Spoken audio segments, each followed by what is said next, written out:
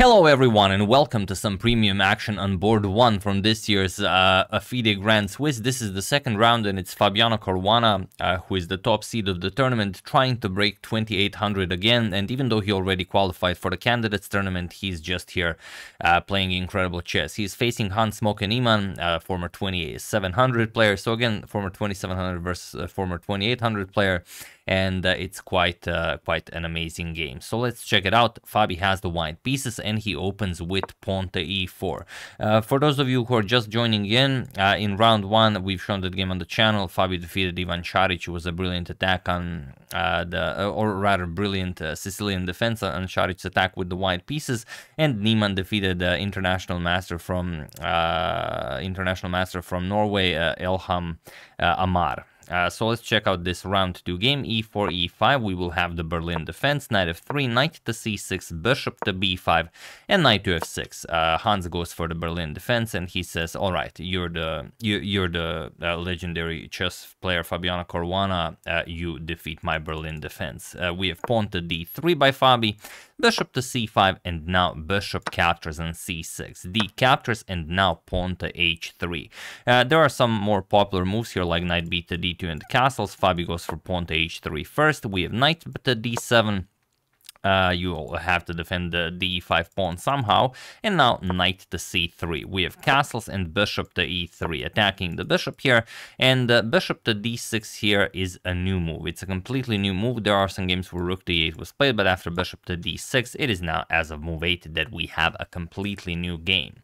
So okay, Fabi uh, uh castles, uh, we have rook to e8 and now knight to d2. The knight is now coming to c4 to put pressure on the dark square bishop on d6. We have knight knight to f8 by Hans, uh, knight to c4, and now knight to g6. So a bit of a horsing around right there, pawn to d4, and now bishop to e6.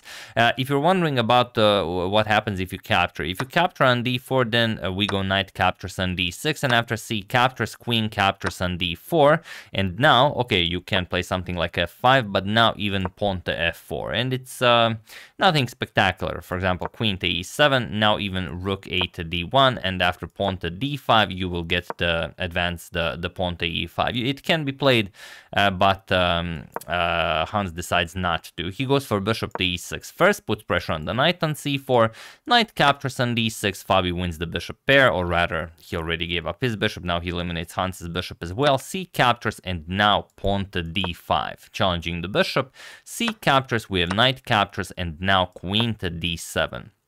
Uh, we have queen to d3 and the bishop captures on d5. We have queen captures and now knight to e7, kicking away the white queen. Queen back to d3 and now pawn to d5. So Hans did pretty much everything. Now he executes d5 and he's going to enjoy uh, at least an equal position. We have e captures, queen captures, offering a queen trade. And Fabi says, all right, let's trade rook f to d1. And Hans says, sure, let's trade, but not on your, not on your terms, rook e to d8. He wants to uh, trade everything off on the d5 square. And now queen to e2. Fabi declines the queen trade and he now uh, brings the rook into the game. So the rook is now controlling the d file, attacking the black queen. Queen to a5 and now queen to g4. So queens will not be getting traded off, at least not right now. And... Um, uh, now, the question is, should you trade rooks? Well, uh, if you go for rook captures on d1, then rook captures on d1, you give Fabi the, the open d file, and if you now play queen captures on a2, you grab the rook, then queen to d7 is already winning. There's... Um, uh, not much you can do here. The, the knight is attacked and also uh, queen to d8 will be the threat of checkmate, so you can't really defend against both. So after queen to g4, we have queen to a6, uh, and now we have rook captures on d8, rook captures, and rook to d1, offering a trade of the other pairs of rooks as well. And you could do this, but uh, if you go for rook captures on d1, then queen captures, and let's say knight to c6, then queen to d7 is again very, very annoying, uh, much too active for white. So instead, Hans brings the rook back, rook to a8. Looks like a very weird uh, passive move, but you want to get your queen into the game and you don't want to hang your a7 pawn. So he has to move the queen, then he has to play something like a6 or b6, and then he will reintroduce the rook into the game. So here we have rook to d7. Of course, Fabi takes advantage of this and uh, brings his rook to a 7th rank, or as we say it, he transforms his rook into a pig, and now knight to g6. Uh, if you defend now with rook to e8, again, uh, you will just get terribly checkmated. Rook captures, rook captures, and queen to c8 will be checkmate after the rook blocks. So instead, after rook to d7, knight to g6, and now queen to f3. Fabi now puts pressure on the f7 pawn and also some pressure on the b7 pawn. So what can Hans do? He plays queen captures on a2, captures the pawn, and defends the f7 pawn, and Fabi just plays pawn to b3. What are you playing now? Uh, you have to defend somehow. If you defend with the rook, if rook to f8, then bishop c5 is very annoying. So uh, Hans can't really do that. Hans plays knight to h8. Uh, he defends the f7 pawn with the knight, but now just queen captures on b7. Again, uh, putting pressure on f7, putting pressure on a7, and putting pressure on the rook on a8. So rook to e8, and now we have queen to c6, threatening all sorts of discoveries, as uh, queen captures on e8 would be uh, quite painful.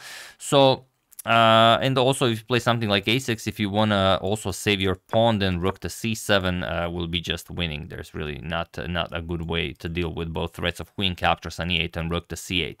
So after queen to c6, um, Hans says, all right, I have to deal with my back rank issues. I will play pawn to h6. And now Fabi claims back the material. Uh, uh, he plays the rook captures on a7. Now he's even up a pawn queen to b1 check by Hans, king to h2, and rook to f8. Uh, again, defending on uh, on f7.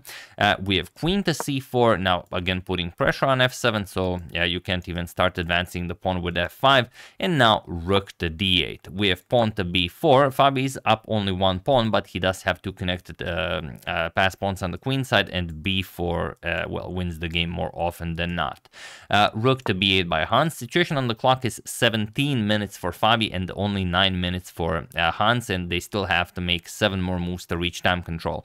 And um, uh, Fabi is sort of inviting Hans to play rook to d1, but if uh, you go rook to d1 to maybe try some rook h1 action, uh, queen to c8 check, king h7, and now just queen to f5 with check. Now if you go back, then you just get checkmated, so you have to block with the knight, and then queen captures, threatening rook to g, uh, queen captures on g7 checkmate. And yes, you will give this one check, but after king g3, there's just no good continuation here, so you, you will have to resign. So that's why after b4, rook back to b8 by Hans, now threat threatening the b4 pawn, and Fabi just defends it. Pawn to c3. We have rook back to d8, and now we have queen to a2. Uh, sorry, queen to a2 by Fabi. You could also start uh, by advancing the pass b pawn, but Fabi wants to uh, minimize uh, Hans's counterplay. So Hans, of course, has to decline the trade. He is down material, and now we have pawn to b5. Fabi starts advancing his pass b pawn. Now, um, both players are now around on 8 minutes on the clock, and they still have to make 4 more moves to reach time control. We have king to h7. Hans now prepares pawn to f5. If he can get pawn to f5, pawn to f4 in, uh, he's still in the game. Uh, Fabi plays b6 and pawn to f5 now. Who is faster? Well, Fabi plays queen to a4. Uh, you could also play b7, but then rook to b8 is very annoying, as um, it, it is winning, but still you have to you know work your way around that because uh, the a8 square is covered by by the rook and by the pawn. Uh, you, you have to play something like queen to b3, then queen to b4, trade queens, and then win the game. So uh, Fabi decides to trade queens right away. He plays queen to a4. We have queen to b1 by Hans, and now queen to h4. So what uh, what do you do here? Well, there are simply too many threats. Uh, just queen captures on h6 followed by queen captures on g7 is already unstoppable, and the rook on d8 uh, is hanging. So uh, the only way to defend both of these threats is to play rook to d6, uh, the defends the rook and the h6 pawn, which Hans did, uh, but now just queen to e7 by Fabi. Attacks the, the rook on d6, also attacks the, the pawn on g7. Rook to g6 was played, uh, getting the rook into the attack, but it doesn't matter. Just queen captures on e5, and he was in this position on move 41 upon reaching time control that Hans Moke Niemann resigned the game, uh, as there is nothing more to be done here. So he's now up two pawns, and there is zero counterplay. Uh, Hans can um, even even try here, maybe queen to f1. He can threaten checkmate, but after a simple g3, there's nothing. You cannot play f4. You can't really move the rook, otherwise you're getting checkmated. Uh, if you do nothing, b7, b8 gets a new queen into the game. So there are many many ways you can win. This doesn't that doesn't really matter all that much what you play. Even if you took this position and played it against Hans, you would uh, defeat him like 10 times, like maybe, okay, maybe 9 times out of 10. That's how, how good this position is. And what does this mean for Fabiano's rating? Because, okay, he's 2786 until the next, next uh, rating list, but uh, on the live rating list, he was, uh, he, he needed less than 3 points to reach 2800. So I will now check because they still didn't update it uh, when I started recording. So he is now he is now on 2801. So yes, Fabi does uh, break 2800 on the live ratings, and now only Magnus Carlsen and Fabiano Caruana are rated over 2800, at least in the live ratings. We'll see if Fabiano can keep this up, uh, but he did crush everyone in the US Chess Championship. He's now on two out of two, basically punishing uh, you know the, the the the smallest of mistakes. Uh, he is um, uh, he is he's coming for for Magnus once again. Not not for him as he's not the world champion. Ding Liren is not world champion but maybe for his rating as Magnus did lose quite a lot of rating now who, who knows what will happen. Maybe we are looking at, at the at the second or third great rise of Fabiano Caruana where he will be the highest rated player in the world. We'll see what happens. Uh, so yeah that's the game. I hope you guys uh, enjoyed it. Not a lot you can do here. Basically, you are without a move. So, of course, Hans resigned. Uh, I would like to thank Pico Cescali, Daniel Taylor, Mark Bachemriki, uh, Grid Words, Logical Letters for iOS, and the John Gear Law Office for your contribution to my channel. Thank you a lot. I really appreciate it. As usual, you can check two of my previous videos here. Thank you all for watching, and I will see you soon. Continuing to check up on your wonderful suggestions and whatever else happens in the chess world. Uh, so thank you all. I will see you soon and have an excellent rest of your day.